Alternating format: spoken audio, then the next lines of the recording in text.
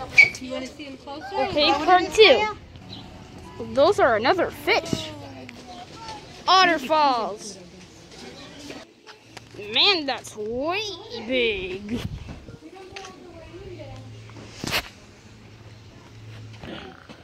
That's an owl. Did you get it?